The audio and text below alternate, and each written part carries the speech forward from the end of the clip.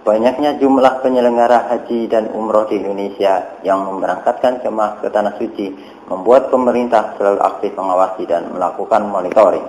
Terlebih terhadap penyelenggara ibadah haji khusus atau PIHK yang tidak mengantongi izin dari Kementerian Agama.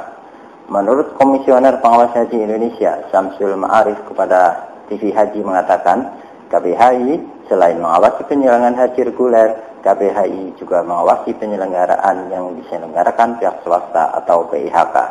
Untuk penyelenggaraan ibadah haji khusus itu dilakukan oleh ya PIHK itu sendiri penyelenggara ibadah haji khusus travel yang sudah mendapatkan izin dari Kementerian Agama. Namun saat mengawasi PIHK di lapangan banyak mengalami kendala karena problemnya sulit dideteksi dan mereka rata-rata tinggal di perhotelan. Meski demikian, kata Samsul, KPHI sudah mempunyai data jumlah PIHK yang nakal saat berada di lapangan maupun PIHK yang menelantar, menelantarkan jamaah. Akan tetapi, bukti dan data tersebut masih dipelajari untuk memproses PIHK yang nakal tersebut.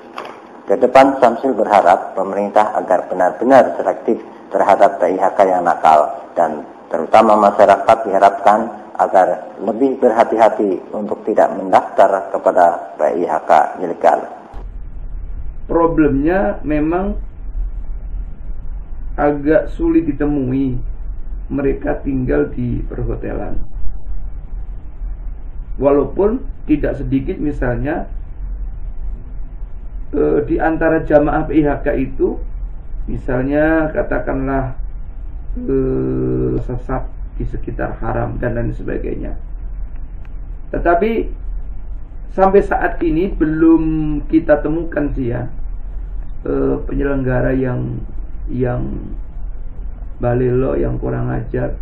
Walaupun di lapangan ada ada beberapa ya penyelenggara ibadah haji khusus itu tetapi setelah kita cek ternyata itu hanya travel.